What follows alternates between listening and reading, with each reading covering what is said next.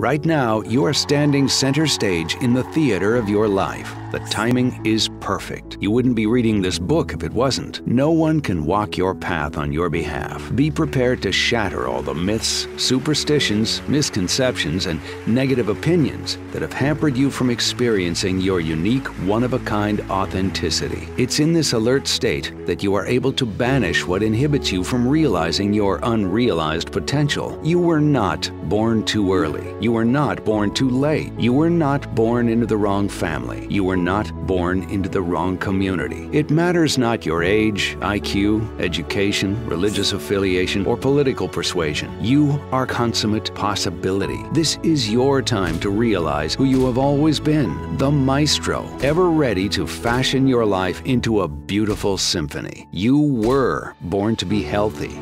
You were born to be happy. You were born to be successful. You were born to love and to be loved. You were born to be in service in outstanding ways. It was errors in self judgment made in childhood moments of failure and fear that gave the intruder a life in your life. This trespasser carries with him many kegs of psychological dynamite that repeatedly blow your dreams to smithereens. Those dreams of winning in life, in relationships, in business, with experiences of gratitude, love, and joy.